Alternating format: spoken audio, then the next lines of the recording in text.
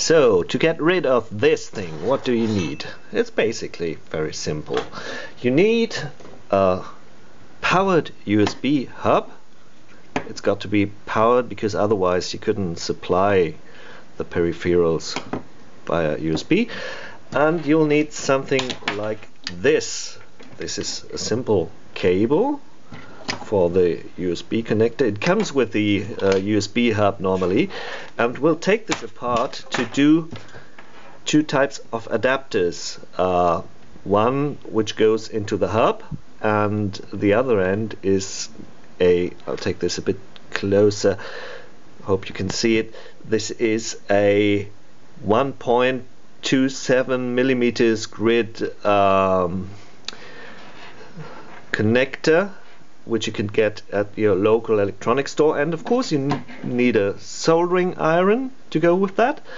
And uh, you've got to take the hub apart. I've done it here. I've taken one from Belkin which is about 15 euros.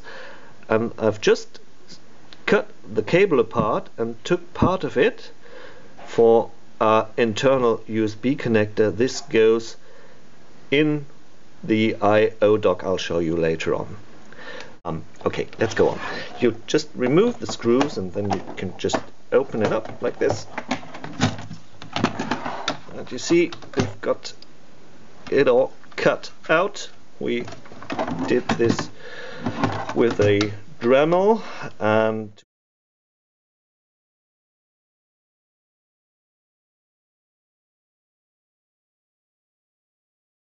in this picture but anyway there it goes. It's not very nice and if you are amongst those who say no I don't want to do this with my IO dock that's perfectly fine with me and I can very well understand it. So what we do now is we put in the pre prepared um, USB hub which is only the connector and uh, the PCB board and uh, the connector we soldered to it and this we're going to take out this here and we're going to uh, plug in just like this.